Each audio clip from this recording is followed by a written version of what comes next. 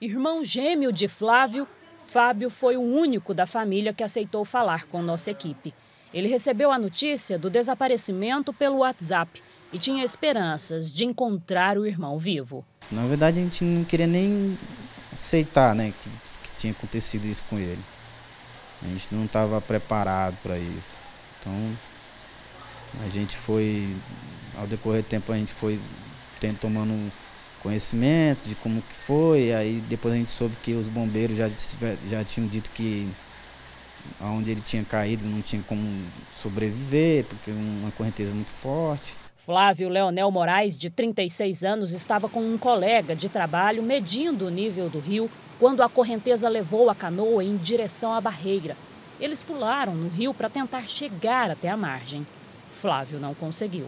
O corpo de Flávio foi encontrado pelos bombeiros dois dias depois do acidente e a cerca de 7 quilômetros de onde ele caiu, no rio Meia Ponte. O agente de saneamento estava entre alguns galhos de uma árvore e quase na superfície da água. A família questiona a forma como Flávio estava trabalhando. O próprio pessoal que trabalha com ele é, afirmou foi que ele foi apenas fazer uma correção numa régua de, de do rio, né, que faz a medição do rio, e que eles entraram assim de, de, de roupa mesmo, né, e que na hora lá perderam o controle do, do, do barco lá, da, da, da canoa, na, na, verdade não era nem um barco, era uma canoa, eles estavam usando um remo, né, que é uma coisa que acho que era imprescindível para uma empresa dessa ter um barco a motor.